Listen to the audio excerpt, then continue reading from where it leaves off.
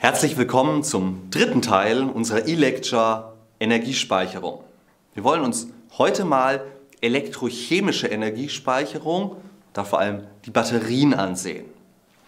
Wir sind in unserem Optionsbaum, also jetzt in die Mitte gerutscht. Wir sind bei den ersten chemischen Energiespeichern und haben jetzt hier bei Batterien es mit drei verschiedenen Unterklassen zu tun.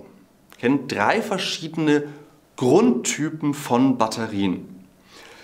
Da gibt es die sogenannten Primärzellen, es gibt die Sekundärzellen und die Reihe lässt sich fortsetzen, dann kommen noch die Tertiärzellen. Was hat es damit auf sich?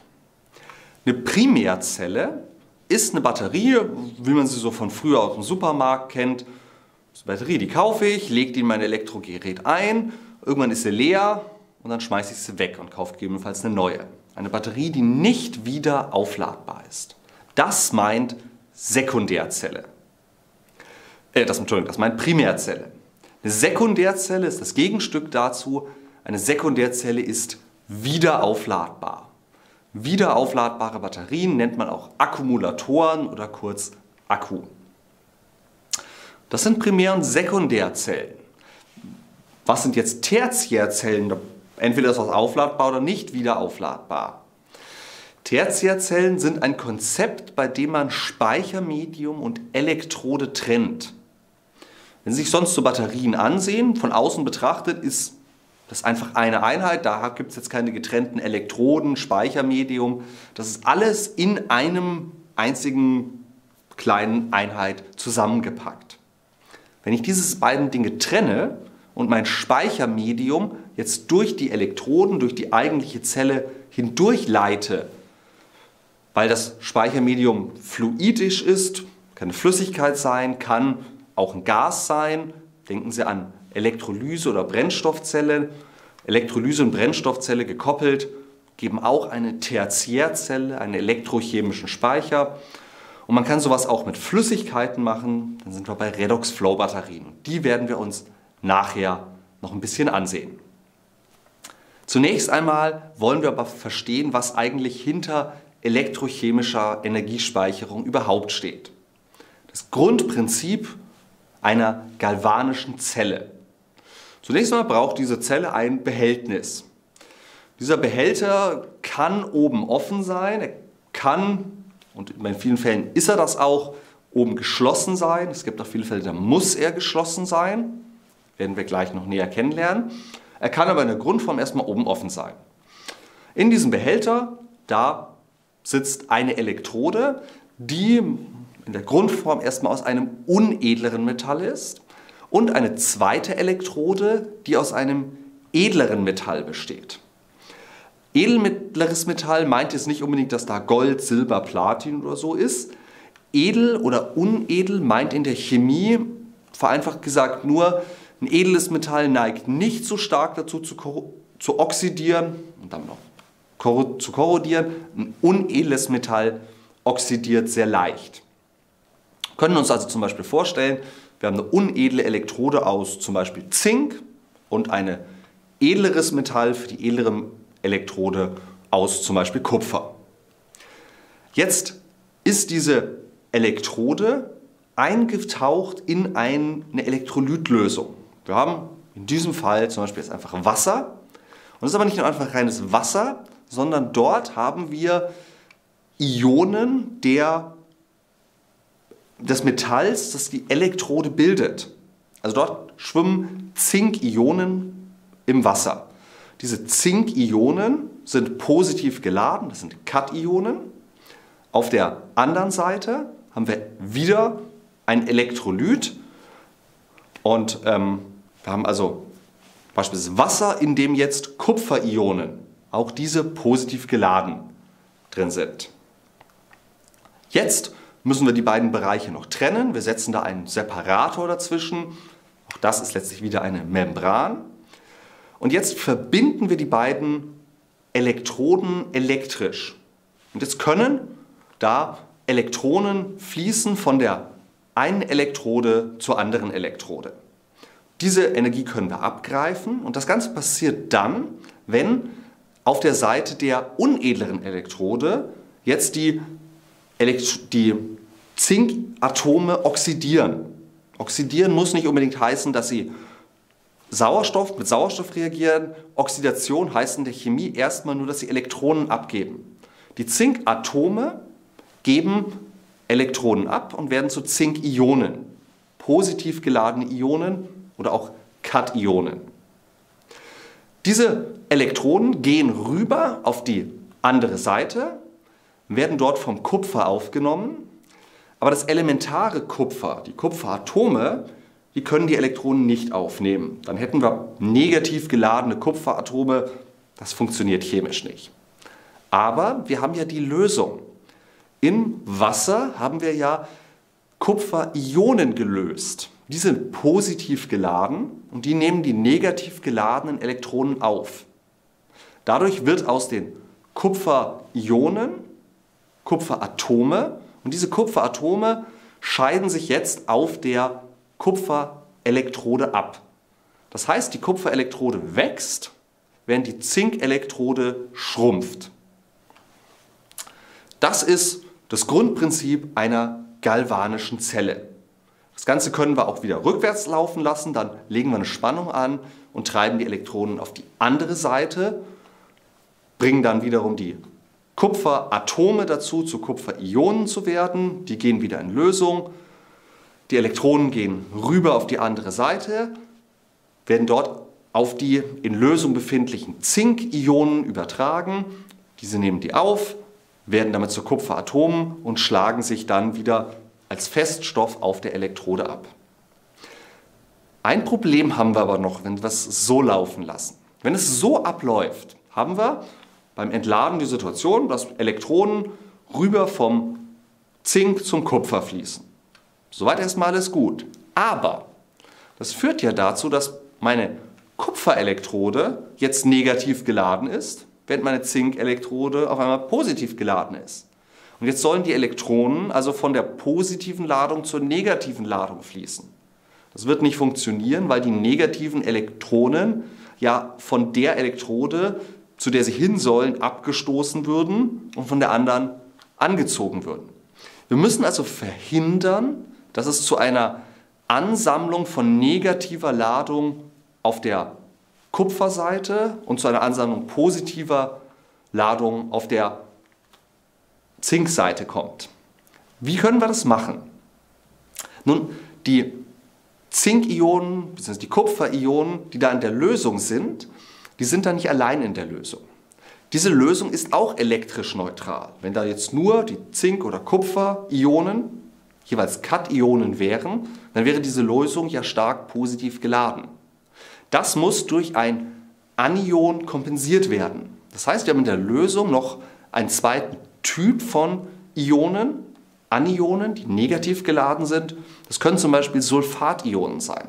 Und diese Sulfationen können auf die andere Seite gehen, also auf die Seite, von der wir die Elektronen wegnehmen und können den Verlust an negativer Ladung dort ausgleichen, indem wir jetzt die Anionen, diese Sulfationen, auf die andere Seite rüber geschafft haben.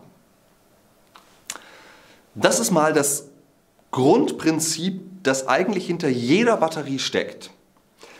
Technische Batterien sind nur ganz anders aufgebaut als sowas. Also das, was ich hier skizziert habe, ist im Grunde genommen, ja, wie die Batterie vor 200 Jahren erfunden wurde, technisch macht man sowas natürlich anders. Und wie machen wir sowas? Nun gucken wir uns als erstes mal die heutigen Batterien ein bisschen an. Und wir gucken mal gleich auf die wiederaufladbaren Batterien, also auf Sekundärzellen. Und da gibt es einen ganzen Zoo von Optionen. Früher waren sehr weit verbreitet Nickel-Cadmium-Akkumulatoren, die sind heute nicht mehr so wichtig. Eine andere, recht alte Technologie von wiederaufladbaren Batterien, die heute noch eine Rolle spielt, sind Bleibatterien. Und eine relativ neue Technologie, die man erst seit wenigen Jahrzehnten hat, die eine große Rolle ja, in der modernen Batterietechnik spielt, das sind die sogenannten Lithium-Ionen-Batterien. Und da gibt es verschiedene Typen von. Der älteste Typ und wahrscheinlich heute auch noch wichtigste Typ ist der Lithium-Kobalt-Dioxid-Akkumulator. Das war bei weitem nicht der einzige.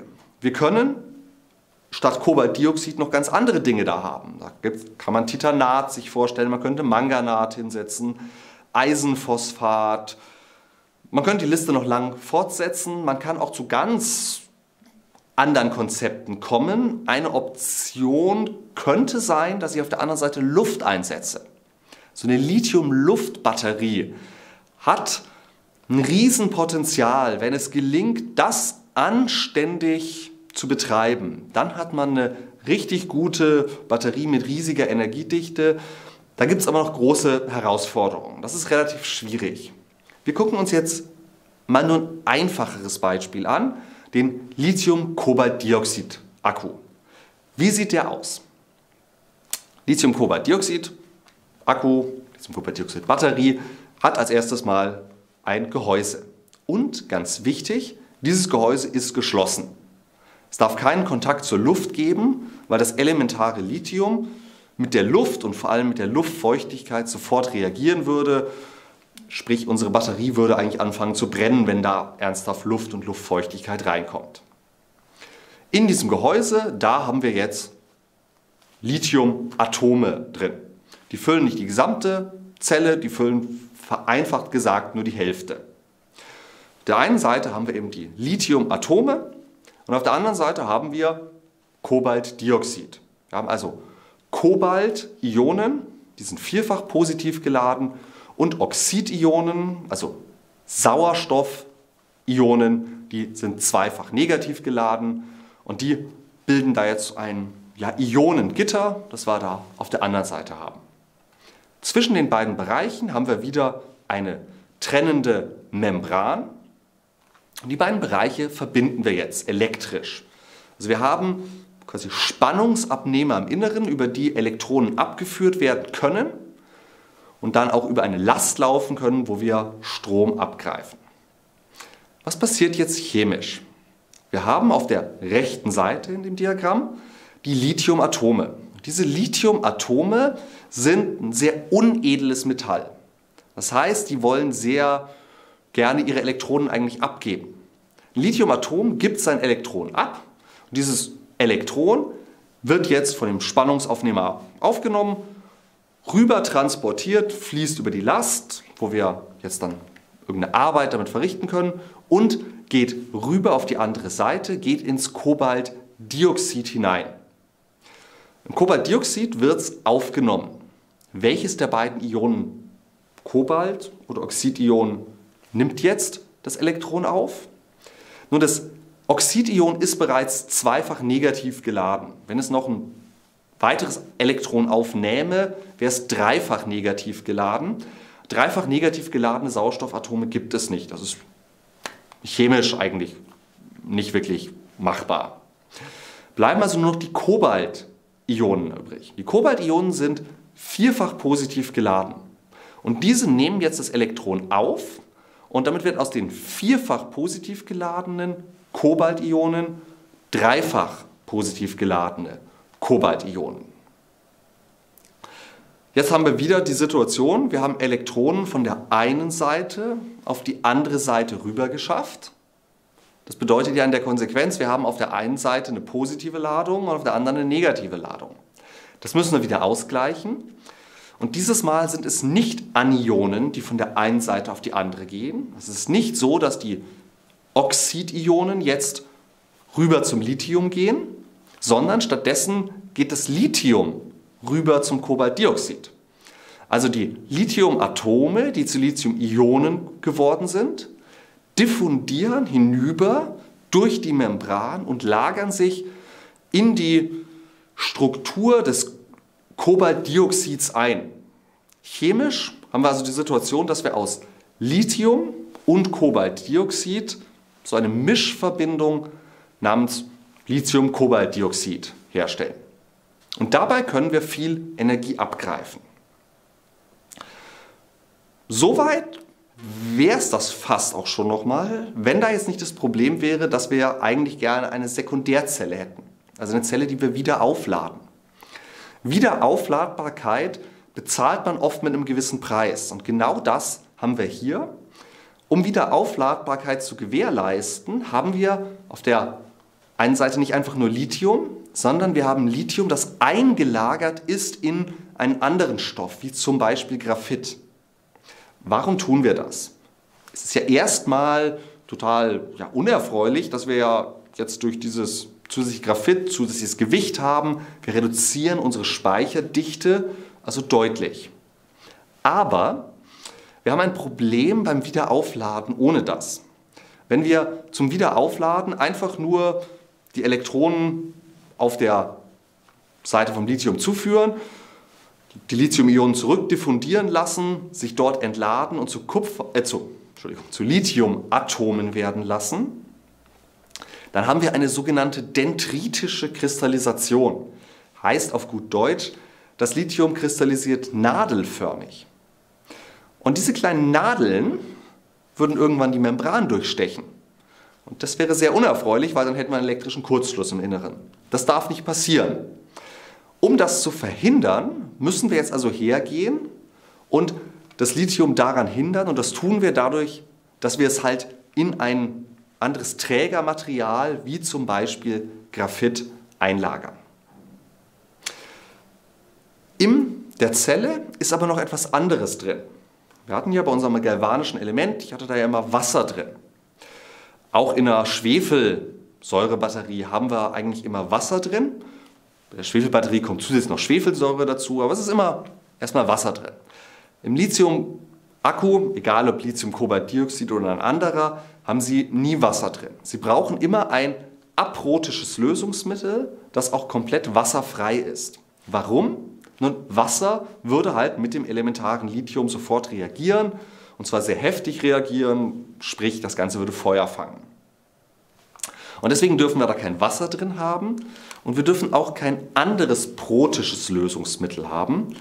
Protisches Lösungsmittel bedeutet, wir dürfen nichts haben, was Protonen abgeben kann. Und das würde zum Beispiel auch bei Alkoholen schon passieren. Also Sie dürfen jetzt nicht einfach Alkohol einsetzen, weil der würde letztlich die gleiche Reaktion wie Wasser machen, nicht ganz so heftig, aber vom Grundsatz her die gleiche Reaktion und deswegen können Sie auch Alkohol nicht einsetzen. Sie brauchen also ein komplett aprotisches Lösungsmittel. Man setzt da beispielsweise Stoffe wie Dimethylcarbonat ein. Die gehen keine Reaktion mit dem Lithium dann ein. Zum Schluss müssen wir uns jetzt noch mal überlegen, wie ist das Ding eigentlich aufgebaut? So wie ich das hingezeichnet habe, so wie das diese Schemazeichnung jetzt hier ist, entsteht ein bisschen falscher Eindruck. Es könnte so ein bisschen der Eindruck entstehen, als wäre ein Lithium-Kobalt-Dioxid-Akku so ein längliches Ding. Also wenn Sie sich eine klassische Batterie ansehen, wie man sie ja auch hier in diesem Presenter hat, also wäre auf der einen Seite Lithium und auf der anderen Kobalt-Dioxid. So ist es nicht. Wenn dem so wäre, dann hätten wir ja Diffusionswege, also Strecken, die das Lithium-Ionen durch den Feststoff dahin durchdiffundieren muss, von mehreren Zentimetern. Klingt erstmal nicht viel, ist aber für so eine Diffusion schon durchaus eine Strecke. Eigentlich wollen wir diese Distanz gerne unter einem Millimeter halten. Also muss diese Schicht unter einem Millimeter groß sein. Und genau das führt dazu, dass Batterien oft so stäbchenförmig oder so zylinderförmig sind. Wir haben quasi, das sieht aus wie eine dickere Folie, ist diese Schicht nur. Und diese Folie wickeln wir auf, so quasi spiralförmig. Und diese Rolle, wenn wir die einpacken, gibt die bekannte Form von Batterien. Eine Alternative, die man zum Beispiel in Handy-Akkus oft sieht, ist, dass man statt zu rollen es auffaltet, ist vom Grundprinzip her aber eigentlich genau das gleiche. So viel mal zu den Sekundärzellen. Jetzt gucken wir uns mal die Tertiärzellen noch an zum Schluss. Bei einer Tertiärzelle trennen wir, wie ich schon gesagt hatte, Speicher und Wandlung. Wir haben also unser Speichermedium an einem anderen Ort, als wir unsere Elektroden haben. Dazu müssen wir unser Medium da durchpumpen können. Das heißt, das eigentliche Speichermedium muss fluidisch sein. Im Fall einer Redox-Flow-Batterie muss es also flüssig sein könnte auch gasförmig sein, die Konfiguration aus Elektrolyse und Brennstoffzelle mit gasförmigem Wasserstoff. Wir haben das gleiche mit eben einem Gas. Jedenfalls dieses Speichermedium bei Redoxflow-Batterien eben eine Flüssigkeit. Das wird jetzt zwischen den beiden Zellen hin und her oder durch die Zelle hindurch gepumpt. Warum machen wir sowas? Nun, das Problem bei einer klassischen Batterie ist doch, wenn ich doppelt so viel Energie speichern will, brauche ich halt eine doppelt so große Batterie oder zwei Batterien. Dabei verdopple ich meine Menge an Lithium und an Kobaltdioxid, aber ich verdopple auch die Menge an Membran, an Lösungsmittel, an dem Graphit, in dem der eingelagert ist. Ich vergrößere die Menge von irgendwelchen Spannungsabnehmern. Ich verdopple eigentlich alles dabei. Durch diese gekoppelte Skalierbarkeit von Energiespeicherung und Wandlung habe ich bei einer Verdopplung der Energiemenge auch eine Verdopplung der Leistung. Das mag im einen oder anderen Fall ganz schön sein. Das ist, führt zum Beispiel dazu, dass die Beschleunigung von Elektroautos so gut ist. Man baut eine relativ große Batterie, hat dabei, wenn man die, als man die Energiemenge hochgetrieben hat, halt auch die Elektrodenfläche hochgetrieben, kann jetzt Riesenleistungen liefern und deswegen beschleunigt das Elektroauto so gut. Das kommt aber zu einem gewissen Preis, weil die Verdopplung meiner Speicherkapazität hat halt auch nicht nur das Gewicht von Lithium und Kobaltdioxid erhöht, es hat halt auch mein Gewicht von allem anderen mit erhöht. In vielen Anwendungen brauche ich diese hohe Leistungsklasse nicht, wenn ich große Energiemengen speichern will. Und hier ist es dann eben wichtig, Leistung und Energie separat skalieren zu können. Und da sind wir bei Tertiärzellen und das können uns Redox-Flow-Batterien bieten. Hier haben wir mal versucht, so ein bisschen zu illustrieren, wie sowas aussieht. Wir haben unseren Energiespeicher, unser Energiespeichermedium und das liegt in flüssiger Form in einem Tank vor. Und im einen Tank, da liegt der sogenannte Katholyt vor. Der Name kommt daher, dass man in der Batterie die eine Elektrode Katholy Kathode nennt. Und naja, diese Kathode ist ja jetzt zugleich auch irgendwie der Elektrolyt die beiden Sachen zusammengebracht gibt das deutsche Kofferwort Katholyt. Der kann zum Beispiel aus Vanadium basieren. Dann haben wir dort drin Vanadium-5-Ionen gelöst. Und diese Vanadium-5-Ionen können Elektronen aufnehmen beim Entladen und sie werden dabei zu Vanadium-4-Elektronen. Also ein fünffach positiv geladenes Vanadium-Ion zu einem vierfach positiv geladenen Vanadium-Ion. Die Anode, die jetzt auch wieder flüssig ist und dementsprechend Anolyt heißt, basiert auch wieder auf Vanadium. Hier haben wir jetzt Vanadium 2, also zweifach positiv geladene Vanadium-Ionen. Die geben ein Elektron ab und dieses abgegebene Elektron führt dazu, dass die Ladung des Vanadium-Ions steigt. Aus Vanadium 2 wird Vanadium 3. Um das zu tun, müssen wir sie erstmal zur Zelle bringen. Dazu müssen wir sie dorthin pumpen. Wir haben also zwei Pumpen, die das Katholyt und den Anolyt aus dem Tank in die Zelle pumpen und anschließend wieder zurück in den Tank. Wir haben also mindestens zwei Tanks. Man kann das sogar aus bis zu vier Tanks ausbauen. Dann hat man einen separaten Tank für geladenen Katholyt Vanadium 5, einen für entladenen Katholyt, Vanadium 4, einen für geladenen Anolyt, Vanadium 2 und einen für entladenen Anolyt, Vanadium 3. Man kann das aber auch einfach zusammenführen, dass ich einfach einen Tank für Katholyten, einen für Anolyt nur habe. Dann habe ich halt eine Mischung und deren Ladegrad sinkt mit der Zeit halt. Jedenfalls werden Anolyt und Katholyt jetzt durch die Zelle gepumpt. In der Zelle geben Sie Elektronen auf bzw. nehmen sie ab. Dafür brauchen wir einen Stromabnehmer. In der Mitte sitzt noch eine Membran. Wir haben Elektrodenfilze, durch die der Katholyt und der Anolyt dann durchströmen. Und die Elektronen, die sie abgeben, die können wir jetzt nutzen, um eine elektrische Last damit zu betreiben. Oder andersrum, beim Laden haben wir halt eine Stromquelle, die Energie reinsteckt und jetzt dann wiederum das Vanadium 4 zu Vanadium 5 und das Vanadium 3 zu Vanadium 2 in Katholyt und Anolyt macht. Das ist das Grundprinzip von einer Redox-Flow-Batterie. Eine Technologie, die noch recht neu ist, aber durchaus auch Potenzial hat, in Zukunft in der einen oder anderen Anwendung eine gewisse Rolle zu spielen.